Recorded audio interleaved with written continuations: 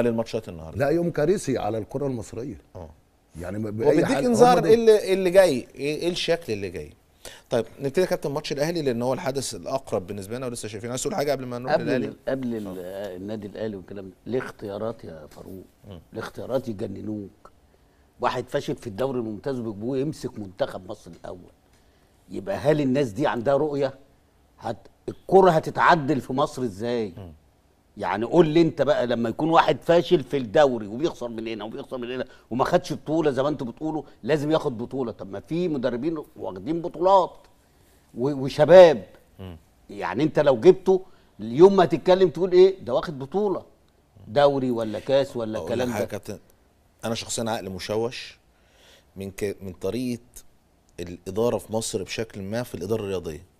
ما تعرفش إيه اللي يرضي مين وده- ولو جبت ده يرضي ده ولا ده آه، يرضي التاني انت عارف ليه؟ الأمور بتدار بشكل ممكن يكون في المجاملة. ما هي بقى لو المجامله دي بطلنا المجاملة دي آه. أقسم بجلالة الله آه. هتوصل كأس عالم كل دورة بس تحط الراجل المناسب في المكان المناسب. وتحط لوائح. ما فيش ما ينفعش إن أنا أكون عضو مجلس إدارة في حتة تانية وبطلع هنا وبشتغل هنا وبشتغل ده هنا. دي كارثة بقى. وحاجات دي كتير دي جداً. دي, دي, دي كوارث برضه من آه. ضمن الكوارث يعني. هو فضيلك ما هو لازم يلقط رزقه. أطلع في الراديو واطلع في التلفزيون بالليل و...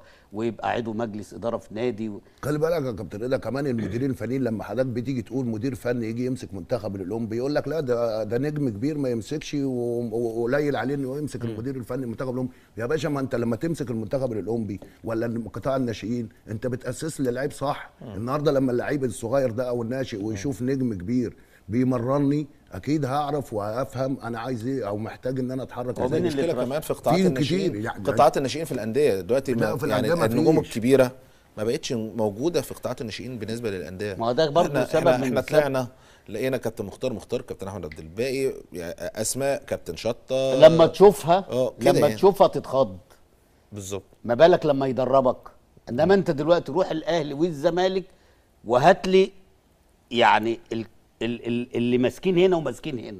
مش تعرف حد.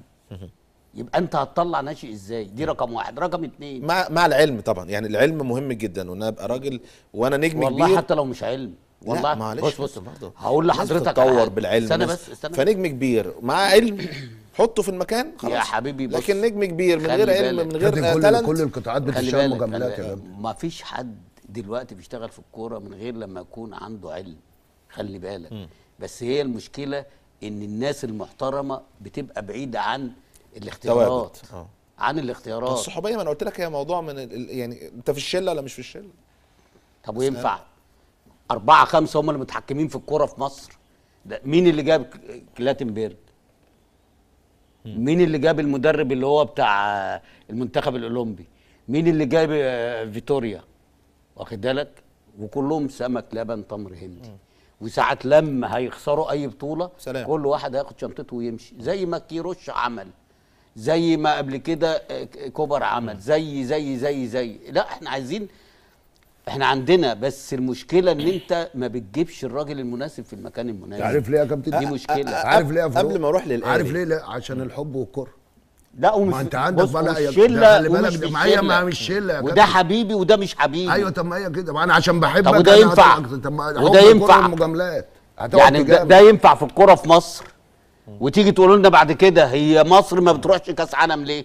ما أنتوا السبب الاختيارات من الراس من فوق آه م- يعني من الاتحاد الأول وبعد كده بقى خش على الأندية إنما طول ما إحنا كده والله ما هنوصل حتى ناخد دورة رمضانية.